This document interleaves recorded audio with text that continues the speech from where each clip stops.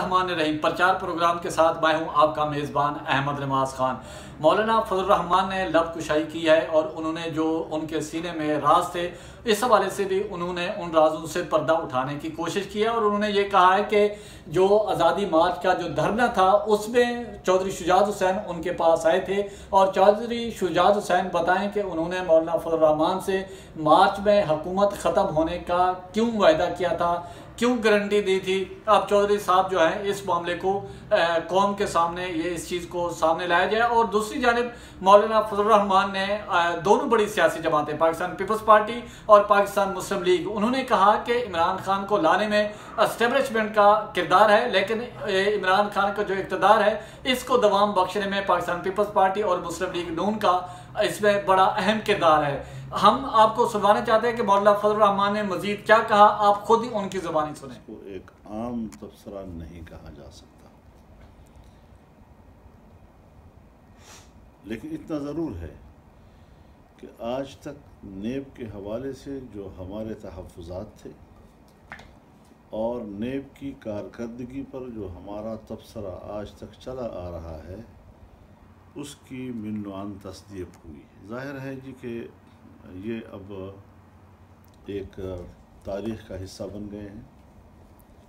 और इसका किसी मुकदमे के साथ ताल्लुक़ हो या ना हो, लेकिन बज़ात ख़ुद ये तबसरा जो है, वो नेब की हकीकत को वाशगाफ कर देता है। और, अब इसके बाद हम ये कह सकते हैं कि सुप्रीम कोर्ट के डबल बेंच के इस तकरार रखने का कोई जवाज़ बाकी नहीं रहा है। अगर इस इस इदारे के आज तक किए गए तमाम कारकर्दगी जो है, अब वो मशकूक हो गई है और इस पर जो तनकीद करने वाले थे, तनकीद करने वालों को एक अदालती तइद हासिल हो गई है। इंतकाम के लिए इस्तेमाल किया गया। इसको पॉलिटिकल इंजीनियरिंग के लिए इस्तेमाल किया गया। इसको अपोजिशन के आवाज़ को दबाने के लिए इस्तेमाल किया गया। इसको पार्टियों के अंदर तकसीम के लिए इस्तेमाल किया गया। ये सारे वो चीज़ें हैं। और फिर यूरोपीय कमीशन ने पहले भी इस इदारे के हवाले से तहफ़ात का इजहार किया था। इदारा नहीं है ये बाकायदा एक जानबदार इदारा है और जानबदारी की बुनियाद पर उसका एक एक किरदार है। तो इस हवाले से आ, मैं समझता हूँ कि एक बहुत बड़ी बात इस वक्त मंजर आम पर आ गई है। नेब जो है उसकी अब कोई हैसियत नहीं। रही उसके तहत जो सियासतदानों के ख़िलाफ़ मुकदमात हैं उसको आम अदालतों में होना चाहिए, आम कानून के तहत होना चाहिए। आए रोज़ हम अदालतें तब्दील करते हैं। हमारे अदालती निज़ाम में कलाबाजियाँ आती हैं। कभी हम अदालती फ़ौजी अदालतें कायम करते हैं। फ़ौजी अदालतें जो हैं वो एक वक्त तक रहती हैं, फिर उसके बाद गैर मौसर हो जाती हैं। क्या मंशा होता है उस वक्त? सिवाय इसके कि मावराए अदालत कत्ल को एक लुबादा उड़ाना होता है कानून और अदालत का। इसके अलावा तो और कोई चीज़ नहीं है। और जितने लोगों को सज़ाएँ दी थी जब पेशावर हाई कोर्ट ने उन सबको रिहा कर दिया और तमाम सज़ाएँ ख़त्म कर दी उसके बाद उसकी हवा निकल गई। तो लापता लोग जो अपने प्यारों और प्यारे जिन उनके जिनके इंतज़ार में हैं बूढ़े माँ बाप जिनके इंतज़ार में हैं बहुतों के वालदेन दुनिया से चले गए, इस गम में रोते रोते चले गए।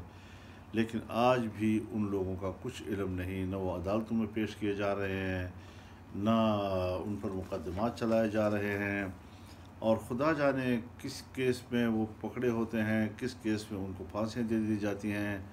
तो ये सारी वो चीज़ें हैं कि जिसको हकीकत पसंदाना अंदाज के साथ नहीं देखा जा रहा, बल्कि एक ख़ास आईना होता है मुल्क के अंदर और उस ख़ास आईने में जो तस्वीर बनाई पड़ता है, अगर नहीं मानोगे तो फिर मनवाया जाता है तो ये जो एक रविश है और पूरी दुनिया में हमारे मुल्क के अंदर मुंतकिल होकर आई है और आज हम उससे अपने एजेंडे जो हैं, वो पाए तकमील तक पहुँचाते हैं और बैन अवी सपोर्ट का एक बहाना बनाकर हम समझते हैं कि शायद हम कोई बहुत बड़ा काम कर रहे हैं। तो ये चीज़ें नहीं चलती। इसका आगाज़ अफ़गानिस्तान से हुआ था, वहाँ नाकाम हो गया। और ऐसा नाकाम हुआ कि आज अमेरिका दुनिया को मुँह दिखाने के काबिल नहीं है। वही तालिबान जिसके बारे में उसका कहा था कि जनेवा इंसानी हकूक़ कमीशन को हैवान की हैसियत भी हासिल नहीं है कि उनको हकूक़ दिए जाएँ। आज उसको बहुत बड़ी इंसानी मोहतरम फरीक की हैसियत से उसको तस्लीम किया जा रहा है। इराक़ की सूरत हाल यही है, लीबिया की सूरत हाल तबाह बर्बाद कर दी गई है। तो पूरी दुनिया में अमेरिका और मगरब की पॉलिसियों के नतीजे में जो इंसानी हकूक़ तबाह हो रहे हैं, रियासतों के हकूक़ तबाह हो रहे हैं, इसका दुनिया नोटिस ले। अकवा मुतहदा जो है वो क्यों सपोर्ट करता है? एक तरफ़ इंसानी हकूक़ पामाल हो रहे हैं, रियासतों की आज़ादी अकवा मुतहदा का एक सपोर्ट हासिल होता है तो दुनिया में कोई इंसाफ नहीं है दुनिया में कहीं जमहूरीत नहीं है। जमहूरीत एक एक एक एक शराब है, एक धोखा है, जिस धोखे में दुनिया को रखा जा रहा है। जमहूरीत हो, हकीकी मानने में हो। जिस तरह हमारा इलेक्शन इस दफ़ा हुआ है, यही तकरीबन पूरी दुनिया में जमहूरीत का नक्शा है।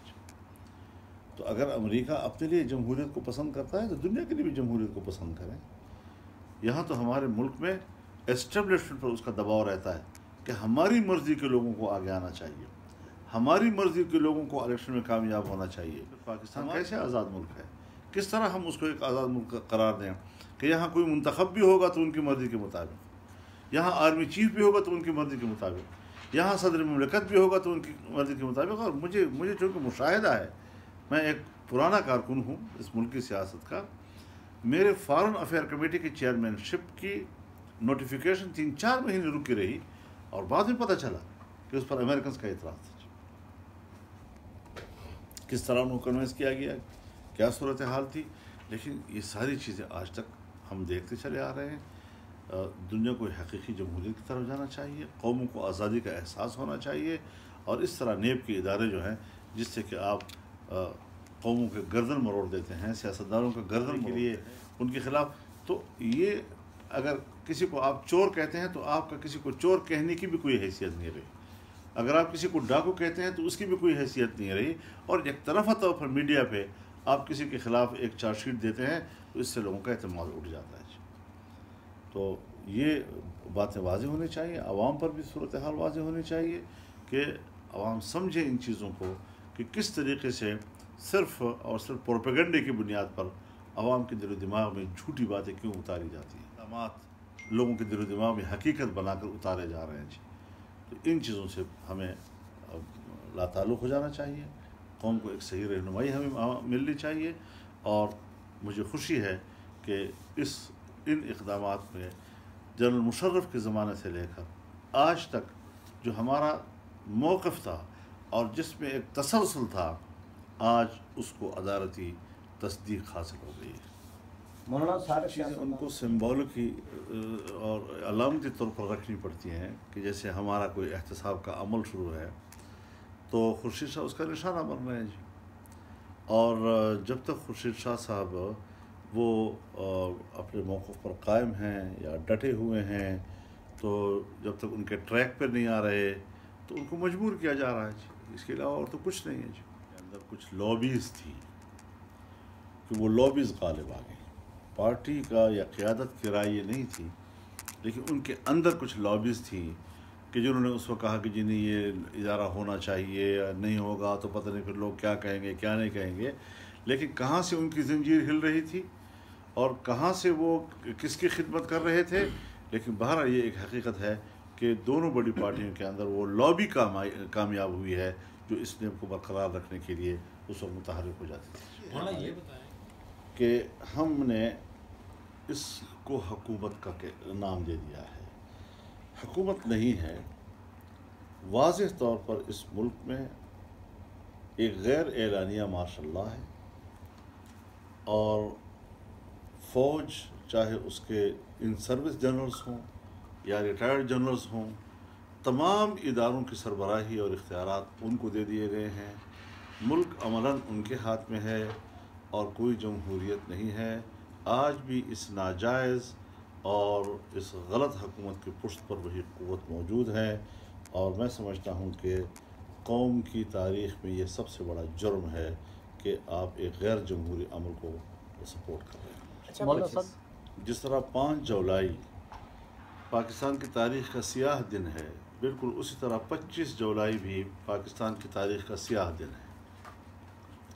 और सियासतदानों को चाहिए कि उस रोज़ ये बात तस्तबाम करे और आवाम के दिल दिमाग में ये बात डाले और उनकी सपोर्ट हासिल करे कि ये वो दिन है जिस दिन इस नाअहल एक जमात को और उसके क़्यादत को बाकायदा नामजद करके धांधली के ज़रिए कौम पर मुसलत किया गया।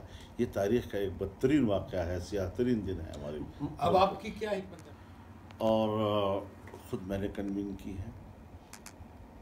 लेकिन हम जितनी भी सियासतदानों की और बड़ी जमातों की सफाइयाँ भी पेश करते रहे हैं, लेकिन एक जुमला मैं वाज तौर पर कह देना चाहता हूँ, मुझे शिकायत है, मुझे गिला है, अपने दोस्तों से है, कि इमरान खान और उसकी पार्टी को धांधली के ज़रिए लाई तो एस्टेब्लिशमेंट, लेकिन इस हकूमत के बाकी रहने और इसके तूल पकड़ने में सबसे बड़ा किरदार हमारे अपोजिशन की बड़ी जमातों का है। अच्छा मौलाना साहब जो देखिए बात यह है कि ये सारे वो मुशीर हैं जिसकी तयनाती के पीछे फ़ौज का किरदार था। ये फ़ौज के लोग तस्वर किए जाते हैं। तो इमरान खान ने फ़ौज के लोगों को नंगा करके उनको क्या जवाब दिया है ये उनको सोचना चाहिए। अच्छा ये जो यानी हम कहें कि तुम्हारे पास टाइम नहीं है। हम कहें हैं हम कहें कि तुम्हारा उल्टा पहिया घूम रहा है अब। खुद जो दावा करता है कि मैं पाँच साल के लिए मुंतखब हुआ हूँ और वो कहता है कि मेरे पास पाँच महीने हैं या छः महीने हैं ये सियासी हमाकत इससे ज़्यादा और नहीं हुआ करती। वो कि हकीकत की बात की है उसने कि उसके पास टाइम नहीं है। और क्या वजूहत हैं उसके क्या मसला है उसका? लेकिन ये ज़रूर है कि इस किस्म की बातें जो हैं ये हकूमत के अंदर के खोखलापन का इजहार होता है। ये बात तो आपकी बिल्कुल बजा है। और चौधरी साहिबान ने चंद रोज़ पहले भी एक बयान दिया कि इस आज़ादी मार्च पर तो धावा बोलने के मशवरे किए जा रहे थे, लेकिन हम बीच में आए और फिर फजलरहमान ने बड़ी दानशमंदी का मुजाहरा किया, दूरंदेशी का मुजाहरा किया। ये अधूरी बात है। मुकम्मल बात भी तो वो फरमा देना जी। तो फिर उसके बाद आपने आखिरी और हतमी बात क्या कही थी जी? तो आखिरी और हतमी बात के मार्च आखिरी महीना क्या उन्होंने नहीं तय किया था? क्या उन्होंने फाइनल नहीं किया था इस बात को? और अगर किया था तो फिर कोरोना के पीछे क्यों छुप रहे हैं अब तक? हमें फ्रेश इलेक्शन से दिलचस्पी है। सारा इलेक्शन फ्रॉड है। इस फ्रॉड का मुकम्मल तौर पर ख़ात्मा होना चाहिए। और ये इस्लामाबाद की फ़जाओं में उठने वाली अफवाहें होती हैं। कभी हुकूमत गिर रही है कभी जा रही है कभी बलूचिस्तान हुकूमत में कभी पंजाब गवर्नमेंट में फिर कभी कहाँ कभी कहाँ। तो ये सारी चीज़ें कौम को मसरूफ़ रखने के लिए हैं मीडिया को मसरूफ़ रखने के लिए हैं। ये ये हमारा मसला ही नहीं है ना कौम का मसला है। कि दोबारा इलेक्शन हो फ्रेश इलेक्शन हो अगर कोई इसके अलावा बात करता है तो वो उस मुतफ़ा डिक्लेरेशन जो 25 जुलाई 2018 के बाद एक हफ़्ते के अंदर अंदर तय हुआ था ये फिर उससे इनहराफ होगा। अमानत अली और सलामत अली जो है वो तब होगा जब शुजात अली होगा। तो क्या शुजात अली जो है? अब तक तो हमारा गिला ये है कि शुजात मुंतजर है। सर जो हो गया वो ज़बरदस्त हो गया ठीक है थैंक यू सर